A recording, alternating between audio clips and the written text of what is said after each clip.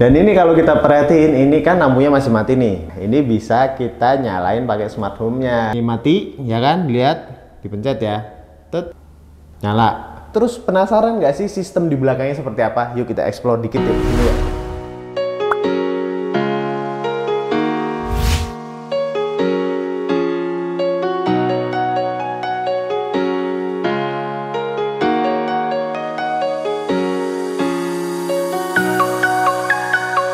Selamat datang kembali di channel Wicak Mifta Kali ini kita mau nge-review rumah yang suasananya enak banget nih.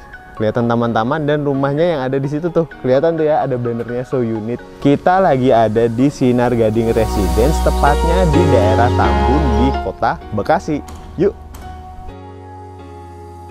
Mantep banget teman di sini bannernya gede banget. So Unit tipe Magnolia Luas bangunan 78 meter persegi luas tanahnya 84 meter persegi.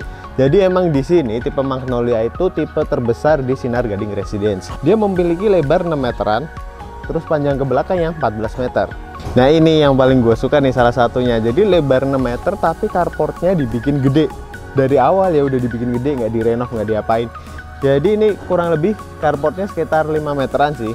Terus disisain dikit buat taman pastinya dengan carport yang segede gini dua mobil bisa masuk sama motor juga masih bisa masuk. Rumah ini itu desainnya desain minimalis minimalis zaman now lah ya kalau kita perhatiin secara keseluruhan. Dan dia juga menggunakan warna-warna yang natural nih mulai dari krem di bagian atas terus putih dan juga hijau ke coklatan dan seperti biasa kita bahas dulu secara keseluruhan fasad dari rumah ini kita start dari yang paling atasnya. Dia itu pakai rangka baja ringan ya. Rangka atap baja ringan dengan genteng beton warna hitam. Terus turun kita ke lantai dua di situ ada topi-topian yang nutupin area balkon. Balkonnya tuh nyambung ya ke kamar tidur di atas. Dan di bagian sininya ada topi-topian yang dibikin lebih ngotak lagi. Terus ada jendela gede. Terus di sebelahnya itu ada dibentuk variasi fasadnya. Itu sebenarnya dinding teman-teman kalau dari kamera mungkin kelihatannya kayak keramik homogenis style yang disusun ya, disusun berbeda tingkat ketinggian. Tapi sebenarnya itu dinding berwarna krem. Terus kita turun ke lantai satunya. Di sini ada topi-topian juga nih teman-teman buat area teras ya di bawahnya. Dan nggak lupa ada tali air. Terus di situ pintu masuk dan jendelanya. Nah ini kalau kita tarik lagi ke sini sama sih tema warnanya hijau lumut lah ya dan dengan jendela yang gede-gede banget dengan kusen warna putih jadi lebih kontras oke terus kita lihat bawahnya. Bawahnya untuk carportnya ini dia di semen doang nih di semen dibikin motif kotak-kotak dan dia siapin jalur airnya nih. Ya udah yuk kita masuk ke dalam rumahnya. Panas di luar. Yang paling keren dari rumah ini nggak cuma dari smart door locknya. Di rumah ini secara keseluruhan udah diterapin konsep smart home. Smart home yang beneran smart home teman-teman. Habis ini kita lihat ya. Ini kita buka dulu smart door locknya. Ini gue udah dipinjemin nih akses card ding dan dia juga bisa pakai pin nih. Pinnya lucu juga ya ini smart door locknya ya. Tuh ngebulet gitu. Selain itu juga bisa pakai fingerprint di atas sini. Tapi karena fingerprint gua nggak ada jadi nggak bisa. Sama ada kunci konvensionalnya di bawah sini. Ini akhir-akhir ini kita sering banget nih bahas rumah dengan smart door lock. Keren ya rumah-rumah zaman sekarang yang udah pakai smart door lock tuh. Assalamualaikum. Anggap rumah sendiri teman-teman. Wow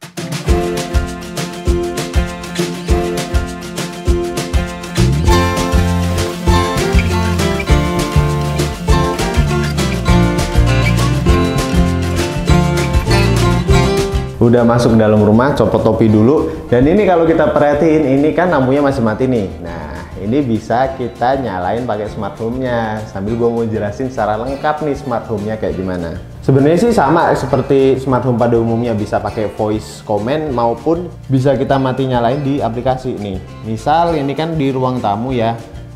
Ini mana nih ruang tamu? Nah ini ruang tamu. Ini kita pakai aplikasi Google Home. Ini mati ya kan? Lihat dipencet ya. Tet.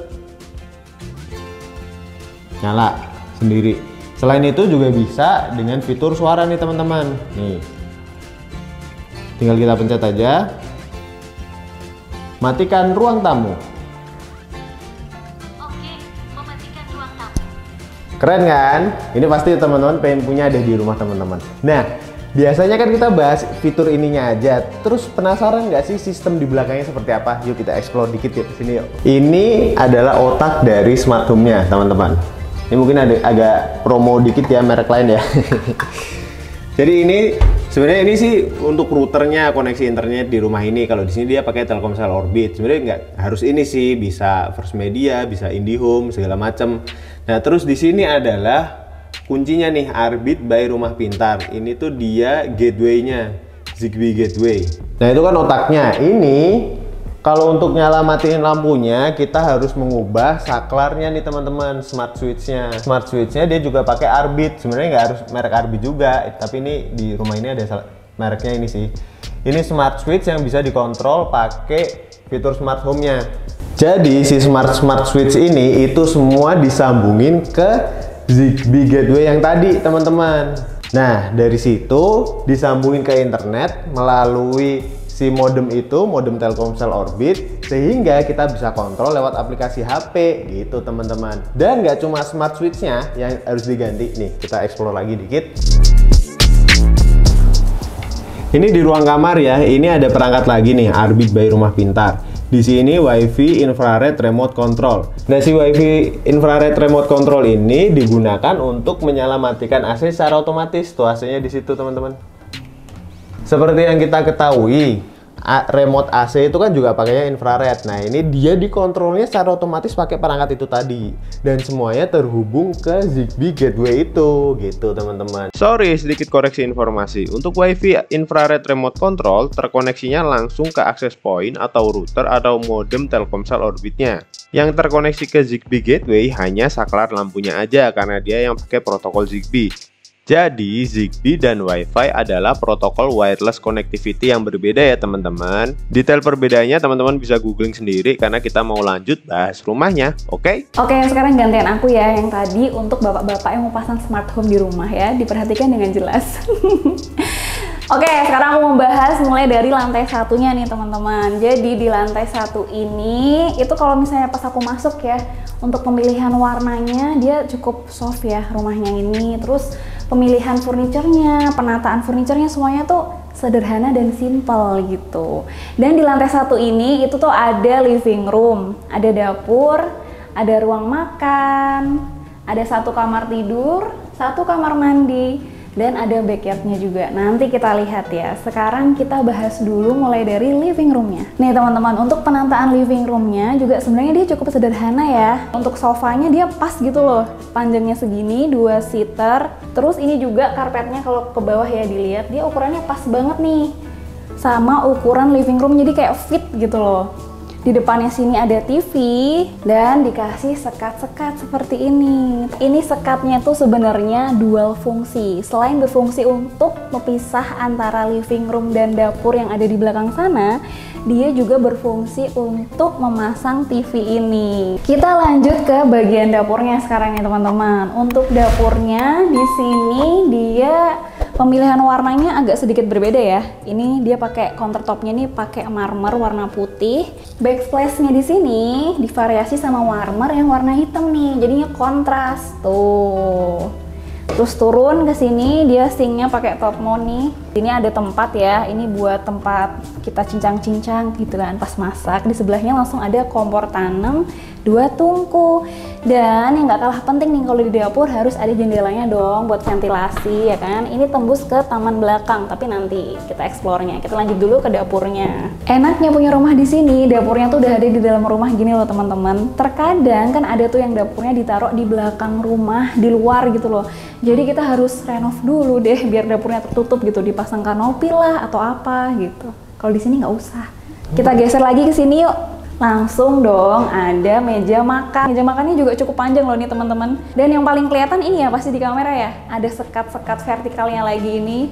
Jadi ini sekatnya juga untuk pemisah antara ruang makan sama tangga yang ada di belakang. Tangga, ruang Jadi makan. dia jadi lebih manis sih ya, tertutup gitu. Kayak kamu dong manis. Gula kali. Ini ada pintu dan yang kayak tadi aku udah mention di sini tuh ada taman belakang rumahnya. Tuh, jadi masih ada sisa tanah di belakang rumah dan ini cukup besar loh teman-teman. Ini untuk ukuran sininya tuh 3 dikali 6 meter. Wow, masih cukup besar ya. Jadi kalau misalnya teman-teman mau memanfaatkan untuk menambah ruangan lagi itu masih bisa.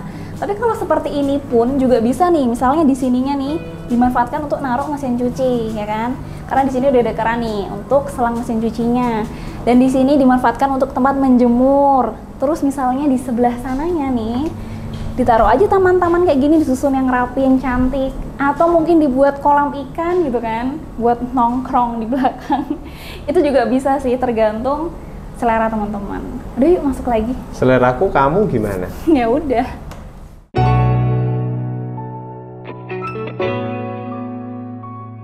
Oke, sekarang aku udah masuk lagi ke dalam rumah. Masih ada dua area lagi yang belum kita explore. Ada kamar tidur dan kamar mandi. Kita ke kamar tidurnya dulu yuk. Wow. Eh, nabrak pintunya. Nih teman-teman, aku nggak tahu ya ini jujur aja ya. Ini ternyata belakang pintunya persis itu ada meja TV dan dia nggak ada stoppernya harusnya ya mungkin bisa di bawah sini dikasih stopper nih teman-teman. Biar nggak nabrak langsung ke meja TV-nya kayak yang di sini kayaknya tadi aku lihat dia ada stopper tuh.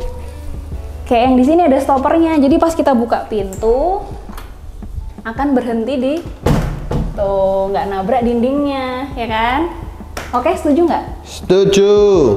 Ukuran kamar di lantai satu ini sekitar dua setengah kali 3 meter ya teman-teman. Sebenarnya ini tuh bisa diperuntukkan untuk kamar tamu, tapi bisa juga difungsikan untuk kamar anak nih. Kita mulai dulu dari sini, kayak ini ya, kelihatan ada jendela dua gede. Ini jendela yang kelihatan dari fasad depan rumah tadi ya kan terus dia dikasihin vitrase nih teman-teman gunanya biar nggak terlalu kelihatan gitu loh dari luar apa yang ada di dalam kamar ini tapi dia juga bisa masih mengizinkan cahaya matahari masuk ke dalam kamar ini gitu kan ada juga nih gordennya kalau gordennya ini paling ditutupnya pas malam-malam ya Itu kalau pas siang-siang lagi mau tidur biar ruangannya gelap, gordennya ditutup tuh karena gordennya juga modelnya blackout. Jadi nggak ada cahaya matahari yang masuk ke dalam rumah Betul.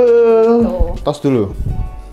Untuk kasurnya dia dipakein ukuran 100 dikali 200 nih teman-teman. Emang untuk satu anak aja sih di sini ya kan. Terus ini untuk bag apa namanya lupa. Betap, Apa? betap, Black. black pink. Dan di sini masih ada space ditaruh lah meja. Ini mejanya cukup besar sih ya, meja belajarnya cukup besar, cukup lega gitu. Tapi, tapi dia nggak ada rak-raknya gitu ya. Laci. Laci, oh ya benar. Mungkin bisa ditambahin ambalan kali ya di sini gitu. Benar nggak? Ya. Oke, aku juga suka nih sama dindingnya. Di sini kan dipakein wallpaper bata gitu loh, teman-teman. Jadi dia nggak terlalu polos. Masih ada kayak teksturnya, motifnya, tapi tetap soft warnanya. Di depan sini ada TV-nya nih, TV sama lemari TV. Udah sih gitu aja. Yuk kita lanjut. Sekarang kita lihat kamar mandi yang ada di lantai satu. Nah, jadi ini ceritanya kamar mandinya itu manfaatkan space di bawah tangga juga ya teman-teman dan begitu kita masuk ke dalam kamar mandinya, ini level lantainya diturunin sekitar 5 sampai 7 cm-an lah ya. Nih. Dan ini karena udah kelihatan di kamera, dia pakainya lantai keramik ukuran 30 kali 30 yang kasar. Jadi biar nggak licin gitu kan. Kita lihat dari sini, di sini ada area untuk toiletnya. Terus di sini ada wastafel sama cermin. Cerminnya cukup gede ya. Ternyata di belakangnya sini ada showernya. Tuh, dimanfaatin buat shower dulu. Pintunya harus tutup dulu ya, biar kelihatan nih ada showernya. Tuh. Dan di sini nggak ada ventilasinya. Ya mungkin bisa ditambahin kali ya, Mm-mm. Tambahin exhaust fan nih biasanya tuh di atas itu. biar nggak lembab kamar mandinya. Saatnya kita naik ke lantai dua. Yuk kita lihat ada apa aja. Oh ya sebelum naik, aku bahas dulu nih untuk tangganya ya teman-teman. Ini kalau untuk anak tangganya dia pakein homogeneous style ukuran 60 kali 60 sama sih sama yang dipakai di lantai bawah itu ya kan sama persis. Tapi mungkin yang bisa diimprove di sini ini bisa ditambahin bullnose gitu biar nggak terlalu tajam nih teman-teman ujung-ujungnya sini. Sama mungkin bisa ditambahin step nosing. Jadi biar lebih aman aja pas kita naikin anak tangganya. Pas kita ada di ujung kita tahu gitu kan. Sama satu lagi nih teman-teman. Nih di atasnya sini kan nggak ada plinnya nih. Padahal di bawahnya ini ada. Padahal plin ini tuh berfungsi banget. Jadi kalau misalnya kita ngepel nggak langsung kena dinding jadi nggak kotor kayak gini dan lebih mudah dibersihkan betul Betul. Nih teman-teman, sekat yang tadi ya, ini kan sebenarnya untuk pemisah antara tangga ini sama ruang makan tuh. Tapi pas kita naik, bentar aku praktekin ya, kita tuh juga bisa pegangan nih. Jadi bisa untuk pegangan juga. Terus dia baru pakein railing besinya tuh di sebelah sini. Kan, jadi sebelah sini tuh kayak kelihatan lebih rapih gitu ya. Udah yuk naik yuk. Gantian gue ya menjelaskan area lantai 2 Tapi sebelum kita nyampe atas nih gue melihat nih ada satu spot nih Ini kan kosongan gini nih Sebenarnya ini celah antara anak tangga dengan dak beton di lantai 2 Nah ini sebenarnya bisa ditutup gitu ya Ditutup jadi lebih safety teman-teman nggak bolong kayak gini Tujuh. ya kan? Yuk. Terus kita naik. Nah ini kalau kita perhatikan teman-teman, ini area tangganya terang ya, dapat sinar cahaya matahari dari luar karena ada jendelanya di sini. Dan di lantai dua ini ada satu, dua, tiga, empat, lima, lima area yang bisa kita eksplor. Yang pertama kita start dulu dari sini. Ini ada panel MCB seperti biasa, udah sering kita mention. Di sini itu ada area balkon belakang. Jadi ada balkon depan sama balkon belakang nih. Ya lumayan sih, enak juga ada balkon belakang. Jadi kita bisa melihat area belakang. Saya sama tetangga bisa semua nih. Halo. Kok nggak ada tetangga yang lagi keluar ya? Ini juga kelihatan taman yang di bawah tadi nih. Tuh. Beres di balkon belakang kita lewat lorong kecil nih ya. Di sini kamar tidur anak, situ kamar tidur utama, sini kamar mandi. Kita masuk ke kamar tidur anak yang ada di lantai 2. Wow.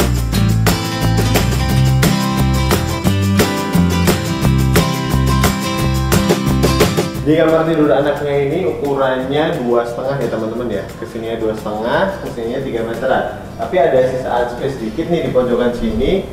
Ini kan tadi sini dua setengah ini tambah sekitar satu meteran buat naruh lemari nih. Lemarinya gede ya, full dari atas sampai bawah. Modelnya push button. Dan seperti kita lihat, ini ada kasurnya, kasur lebar 100 cm-an, sininya 200 cm. Cuma di sini ada menurut gua satu hal yang kurang enak nih ya. Nih, ini seharusnya kalaupun memang mau pasang meja TV atau kredenza itu lebih baik jangan yang selebar ini. Dibikin yang lebih tipis lagi, jadi ada ruang buat jalan nih di sininya. Ini kan kayak terlalu mepet nih jadinya. Iya. Atau kalau enggak, nggak usah ada meja TV sama sekali, tinggal pasang TV-nya yang dimounting kayak gini. Itu sih saran dari kita. Terus di sininya juga kita lihat ada meja belajar yang cukup gede juga. Nah di sini ada laci-lacinya nih, kita bisa naruh beberapa barang-barang dan nggak lupa di bawah sana ada colokannya buat kalau kita pas mau laptopan, mau ngecas HP, segala macam bisa di sini. Udah sih simpel. Ini gue cukup suka sih dengan desain kamar anaknya ini. Walaupun desainnya simpel sederhana tapi udah oke, udah mencukupi gitu. Sama di sini ada jendelanya ke balkon belakang tadi. Dan di sini bedanya dia pakai roman shade teman-teman. Roman shade yang model beam out. Beam out itu Tidak 100% menghalangi cahaya masuk. betul. Jadi masih ada cahaya yang bisa masuk ke dalam kamar. betul. Tuh, jadi lebih adem gitu. enak banget buat tidur siang jadi pengen tidur selesai dari kamar tidur anak kita lanjut ke kamar tidur utama yang jauh lebih besar daripada semua kamar di rumah ini ini kalau kita perhatiin ini lebar banget nih teman-teman 4,85 meter kalau kita lihat denahnya tadi dan di sininya panjangnya pun juga 3 meter makanya di kamar tidur utama ini luas banget. Terus dia pasangin di sini ada kasur king size lebar 180 cm. Gue kira pun juga awalnya ini lemari, tapi ternyata enggak teman-teman. Ini sebenarnya cuma wall panel kayak gini yang disusun menyambung ya sampai bawah dari bawah sampai atas pol sebagai headbed dari kasurnya ini. Dan ini dindingnya ini adalah cat yang warnanya itu warna semen expose. Jadi ini bukan bukan semen expose ya. Ini adalah cat. Menarik ya. Jadi, kalau boleh kita simpulkan, semua desain interior di show unit Sinar Gading Residence ini tuh simple dan sederhana aja. Nggak ada yang neko-neko. Justru yang paling kita suka adalah layout atau tata ruang rumah ini sih. Jadi semua ruangnya itu nggak ada yang terlalu kegedean, nggak ada juga yang terlalu kekecilan. Walaupun nggak 100% sempurna ya, kayak tadi living roomnya agak kekecilan, ya kan? Balkon ke area luar. Balkonnya nggak yang gede banget sih, tapi cukup buat naruh kursi lah ya buat bersantai di sini sambil menikmati pemandangan kompleks Sinar Gading Residence di siang hari maupun sore hari. Itu asik ya, depannya Asik. langsung taman. Cukup asri ya, hijau semua gitu. deh. Itu kelihatan kafling-kafling yang baru mau dibangun tuh. Dan dia di sini tuh jualnya rumah ready ya. Yes, di sini rumah udah ada rumah ready stock. Jadi ketika teman-teman beli di sini tinggal langsung huni, nggak perlu inden-inden gitu. Tinggal bayar aja sih yang penting. Lanjut ya habis dari balkon kita ke kamar mandi lantai dua ya. Yang sebenarnya dia punya dua akses pintu dari sini langsung dari kamar tidur utama maupun dari lorong nih, lorong lantai duanya yang ada di situ. Semuanya juga pakai sliding door nih teman-teman. Sliding door. Jadi lebih menghemat space sih. Sebelum kita ngelihat di dalamnya kayak apa, kita ngarahin dulu yuk ke bawah. Sini menarik nih. Ini dia ada listnya dulu ya teman-teman ya. Listnya untuk memisahkan area lantai kamar mandi, ini area lantai kamar tidur utama. Kita lihat di sini ada area kloset. Tuh, kloset duduk. Terus di sini ada tempat showeran dipisahin sama tempered glass kayak gini. Ada kusennya ya pakai aluminium full sampai atas itu. Terus juga dia ada downlightnya. Ya karena udah ngeliat ke atas kita lihat situ juga tuh ada ruang jendela jendela boven light gitu dia pakai kaca es dibikin zigzag buat ventilasi sama sumber cahaya alami Nah, tadi kan masuknya kan dari pintu sini. Sekarang Nah, keluarnya dari pintu satunya. Tuh, yang tadi kita bilang. Jadi ini pintunya langsung nembus. ya udah sih beres kita Nah, yang butuh info spek bangunan lengkapnya kayak gini ya teman-teman, bisa sambil di pause aja videonya. Fasilitasnya pun juga cukup lengkap, ada musola, one gate system, dan lain-lain. Sisanya baca sendiri aja ya. Untuk lokasi dia ada di Jalan Gedung Walet, deket sama stasiun Tambun, sekolah, bank, polsek, dan lain-lainnya. Gak jauh juga teman-teman dari pintu tol Tambun. Mantap ya. selesai sudah kita nge-review rumah tipe Magnolia di Sinar Gading Residence di Tambun Bekasi nah Di? kok di terus Jawa Barat. Hahaha. Di sini ada keistimewaannya teman-teman yang dinamakan Fantastic Four. Wih, apaan tuh? Kayaknya meyakinkan. tapi belum apa nih sambil lihat contekan ya. Fantastic Four itu adalah kalau beli rumah di sini itu bebas PPN ya teman-teman ya. Ini kan memang lagi ada program pemerintah bebas PPN 10% sampai nanti Agustus. Untuk rumah ready stock. untuk rumah ready stock karena di sini juga rumahnya ready stock nih. Terus kemudian bebas BPHTB terus diskon DP 10% Wow. terus dapat smart home-nya Wah. Dap- dan nanti detailnya sisanya bisa teman-teman tanyain sama teman-teman marketing di sini. Nanti nomornya kita cantumin di kolom deskripsi ya. Ya di sini juga ada nih paling set. Set. Di sini apa di sini? Ya di situ. Untuk harganya pasti pada penasaran nih berapa sih harga rumah di SGR? SGR ya singkatannya. Sinar Gading Residence. Jadi di sini tuh harga rumahnya tuh start dari 700 jutaan sampai 1,2 miliar. Nah, yang kita review ini yang Magnolia itu yang harganya 1,2 M. Jadi masih ada beberapa tipe lainnya ya di sini. Jadi tipe-tipe ini kan tipe paling besarnya, tipe-tipe yang lainnya yang lebih kecil ada. Lebih murah pastinya. Oke. Cukup sekian ya video review kita kali ini. Semoga menginspirasi teman-teman juga yang lagi pengen lihat-lihat rumah, cari-cari rumah atau apa pun itu ya. Jangan lupa like, Komen. subscribe, Komen dulu. komen, Baru subscribe. follow Instagramku yang ada di sini, Miftah Jana.